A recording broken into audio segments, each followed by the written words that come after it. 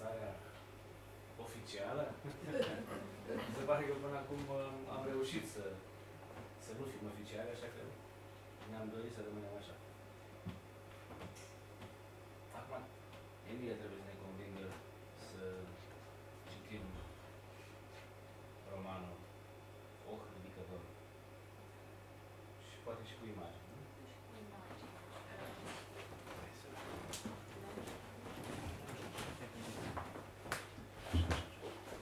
foot.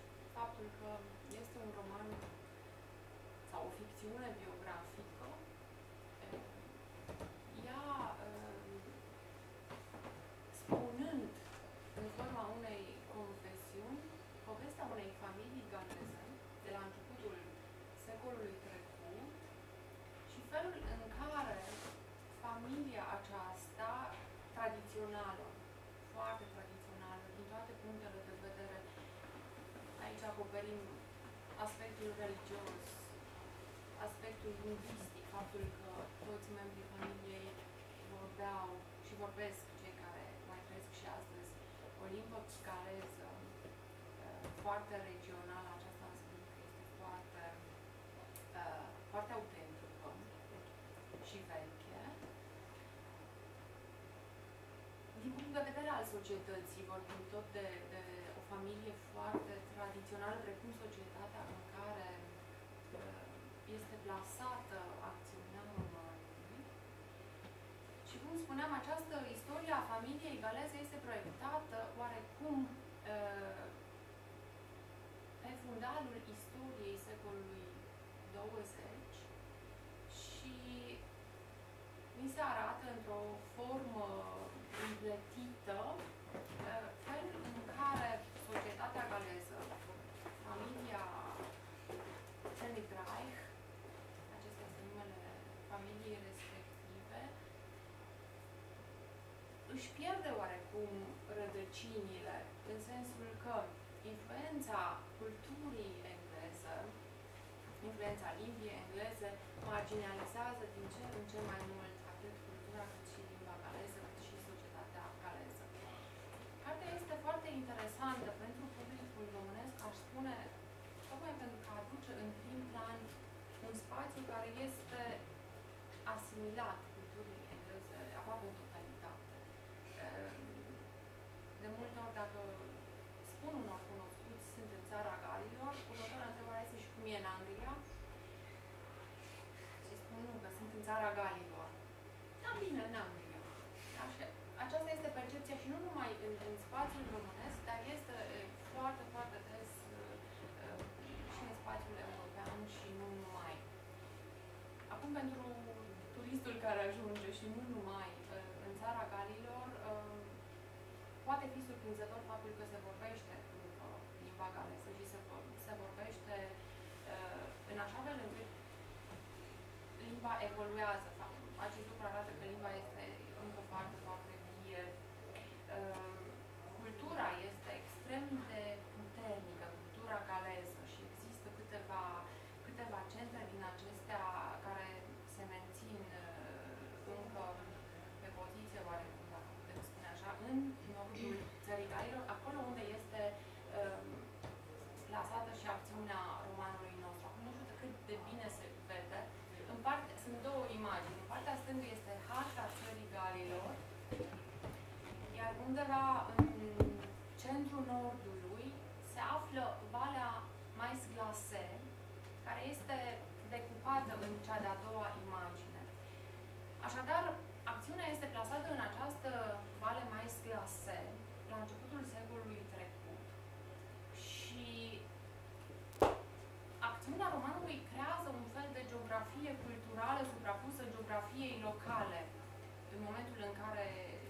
cartea. Povestea este spusă de Rebecca Jones, una din cea, cel mai mare uh, copil al familiei Jenny Bright, care locuiește, așa cum spune istoria familiei, uh, la modul autentic uh, de o mie de ani în acești munți. Și povestea Rebecca Jones creează această, această geografie între casa pe care, unde ea s-a născut și unde se desfășoară povestea familiei și casa unde ajunge să se retragă la un moment dat, din motive pe care urmează să le descoperiți singur dacă veți, veți citi cartea. Putem să mergem puțin mai departe. Aici avem uh, imaginea cărții originale în limba galeză, Otene Garhis. Uh, în română l-am tradus oarecum păstrând uh, frazarea galeză, o ridică-l vălul. Face parte dintr-un imn galez din uh, secolul al XVII-lea. Și de ce imn galez? Pentru că, așa cum spuneam mai devreme, societatea galeză, mai ales la începutul secolului trecut, a devenit extrem, extrem de religioasă și religiosul a invadat oarecum spațiul familial și a afectat și destinele familiei. Acum, Anhara Price, autoarea noastră, uh, care a primit uh, un premiu prestigios uh, în, în urmă cu câțiva ani pentru, pentru cartea respectivă și carte care a, a devenit de fapt un clasic, o, o carte clasică pentru, pentru societatea uh, galeză. Uh, cum, cum, cum spuneam, An Anharat uh, locuiește și astăzi în, în uh, Bangor, unul dintre centrele despre care vă spuneam mai devreme, și uh, familia ei, uh, cei care mai sunt, locuiesc și ei astăzi acolo. De curând, acum nu o să intru, nu o să intru neapărat în subiectul uh, romanului, am să vă spun câteva elemente cultural-lingvistice uh, pe care le-am redescoperit, spun redescoperit, recent, când am fost uh, în, în țara Galilor, în urmă cu două săptămâni, și am urmat acest traseu de la, în Valea Mais Glase, alături de autoare, și am uh, dublat oarecum în prezentarea mea fotografiile familiei ei cu fotografiile noi uh, pe care le-am făcut eu. Un lucru pe care nu l-am făcut a fost să nu uh, n-am înregistrat în niciun fel, n-am făcut nicio fotografie în casă unde există un muzeu al familiei cu toate elementele membrilor acestora. Familia a avut un destin oarecum special și dintr-un alt punct de vedere. Uh, trei dintre copii s-au născut orbi. Unul dintre ele a, a devenit uh, traducător din 16 limbi în braille și toate acestea, uh, toate aceste obiecte personale ale, ale lui William Reich se află în acest muzeu. Dar n-am, spun muzeu, este o cameră care îți dă senzația unui muzeu. N-am putut să fac nicio fotografie acolo pentru că mi s-a părut că aș fi încălcat ospitalitatea, um, chiar spațiul sacru care mi s-a oferit. Dacă vreți să mergem mai departe. Haide. Aceasta este Valea Mais Glase, în galeză cu Mais Glase.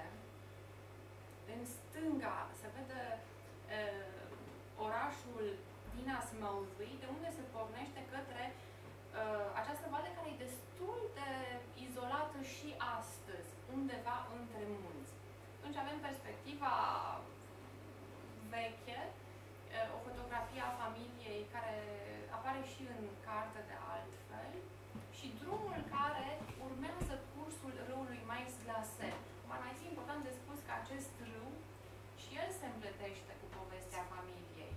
O să vedeți în, în, ce, în ce fel. Iar în partea dreaptă este fotografia orașului din Asmaufi, pe care am făcut-o în urmă cu două săptămâni în această, în această vizită. Deci pornim, nu, nu mai revenim la harta anterioară, dar pornim de undeva din centrul nordului țării Galii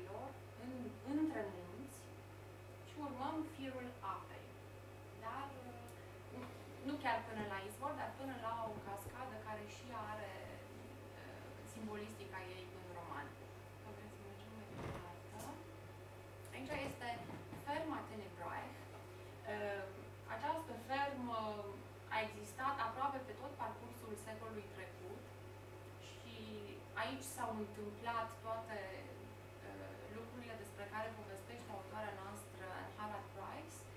Ea a fost demolată pentru că devenise mult prea, prea uh, periculoasă, probleme fel, pentru că umezeala era foarte mare, au ridicat o altă clădire care nu are, poate, farmecul uh, arhitecturii galeze tradiționale, dar care păstrează toate aceste uh, elemente simbolice ale familiei.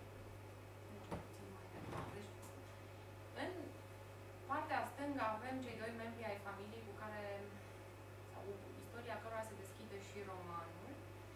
Uh, personajul nostru, Rebecca Jones, se află, așa cum îl privim, în partea dreaptă și ea este uh, naratorul. Da, ea este naratorul. Uh, fotografia apare și ea în carte și este, este descrisă. Băiețelul din prim plan este unul dintre frații orbi. Uh, în spate este un alt frate orb și în partea dreaptă este un frate care s-a născut văzător, pur și simplu, și ai cărui copii și nepoți încă locuiesc astăzi la ferma de Negroare. Da, sunt două familii. În partea dreaptă, în, oarecum în același spațiu, sunt eu și, și autoarea, uh, alături de care am, am făcut acest traseu. Aici, în, în partea stângă, se află arborele genealogic al familiei, uh, iar în partea dreaptă se află mormintele uh, părinților și uh, mormintele a trei dintre frați, inclusiv al Rebecca Jones. Ele sunt importante pentru, pentru romanul nostru. Vă las să descoperiți și de ce. Uh, Există și un, un mormânt al unei uh, fetițe, sora Rebecca Jones în realitate, și care nu a fost regăsit și noi l-am căutat. De ce? Pentru că ea nefiind botezată, n-a fost primită în cimitirul familiei, uh, satului și mai ales n-a putut fi îngropat în timpul zilei, ci numai după ce soarele a apus. Lucrul vorbește foarte mult despre rigiditatea tradiției pe care o pune la îndoială de altfel și autoarea în cartea noastră. Să mergem mai departe. În partea stângă, s- de fapt, este, este aceeași, uh, sunt aceleași elemente în ambele imagini. Este din nou o fotografie veche cu primele așezăminte din Valea Mais Glase. Aici ne aflăm undeva între ferma de la care am pornit și cea de-a doua casă unde se va muta personajul nostru, Rebecca Jones. Paralel se află asemenea uh, ruine foarte, foarte vechi și care vorbesc de la sine despre istoria spațiului respectiv, cu atât mai mult cu cât în urmă cu două secole uh, satul era mult mai popular. Mergem mai departe. În partea stângă sus se află membrii familiei care uh, se ocupau de tunsul oilor. Ar fi de menționat că în carte se regăsește un spațiu rural care comunică spațiul rural românesc până la un punct și comunică foarte, foarte bine. Sunt lucruri pe care le putem compara din punctul de vedere al obiceiurilor, al instrumentelor, al trecerii anotimpurilor și felul în care uh, și al felului în care această trecere este reflectată asupra celor două societăți. În partea de jos, că vă spunem la un moment dat că istoria pârâului mai glase se împletește cu istoria familiei, se află prima turbină pe care a, a construit-o familia România pentru a-și asigura energie electrică. Iar în partea dreaptă sus este, sunt alte ruine și evident pârâul care a oferit și încă oferă, încă oferă energie electrică unei părți din, din, din ferma respectivă. Mergem mai departe. Cum uh, căsuța Rebecca Jones de la capătul văii mai clase este chiar o căsuță. Sunt, ea a rămas acum în ruină. Nici autoarea n-a putut răspunde oare de ce. Ar fi fost o investiție mult prea mare, bănuiesc, pentru familie să încerce să, să, să o renoveze. Dar oricum, piatra este foarte veche și um, în momentul în care am făcut acest traseu invers către casa Rebecca Jones, um, am putut să înțeleg mult mai bine, uh, să spunem, atmosfera sau legătura dintre narator și spațiul pe care uh, familia ei l-a locuit. Și pentru galezi este încă foarte important spațiul sau nu neapărat spațiul locativ, dar uh, natura în sine. Și se vede foarte bine atât în arhitectura caselor, în uh, organizarea fermelor, toată Valea fiind și, ca de altfel, mare parte din țara Galilor, uh, împânzită de oi. Este un, un, o sursă de venit extrem, extrem de importantă, poate cea mai importantă pentru Galezi. Aici este pârâul cu pricina, e de fapt aceeași imagine. Uh, Culorile sunt de regăsit în carte, în descrierile autoarei. Uh, Țara Galilor este o țară extrem, extrem de frumoasă. Uh, Peisajele sunt uh, uimitoare, te fură și culorile din, din, chiar și din fotografia pe care am făcut-o pot să vorbească de la sine.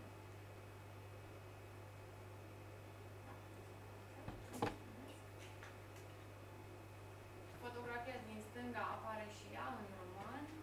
Um, Vorbește despre, așa cum își dorea autoarea și cum a intitulat uh, fotografia în sine, vorbește despre genul de viață pe care localnicii o duc oarecum în, uh, în muchie, da? Uh, în pantă, pe deal.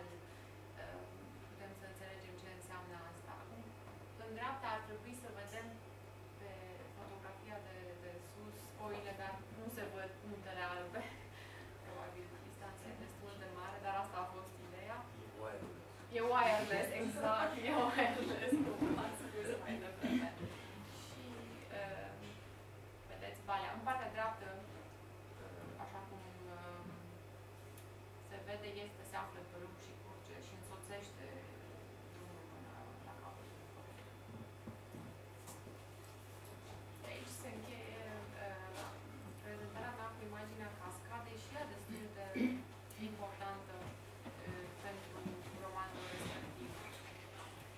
vorbeam mai devreme despre asemănări și diferențe, poate, între cele două societăți. Un lucru pe care nu l-am spus și este foarte important este că traducerea nu am făcut-o singură. Uh, inițial proiectul trebuia tradus în limba engleză, am folosit traducerea englezească, am descoperit că nu există corespondențe prea multe între engleză și română și am reînceput traducerea alături de Daniel Johnson, cu care am lucrat la mai multe proiecte de altfel și care este publicat de editura Eicon. El este galez, galezo-irlandez și el îmi spunea atunci când l-am întâlnit, țările noastre sunt atât de departe și noi ne cunoaștem atât de puțin. Acum, uh, partea această carte va micșora distanța, sper, și va ridica vălul cu privire la multe elemente, sper. Deci nu pot să vă doresc decât lectură plăcută. Ultimul rând e foarte important.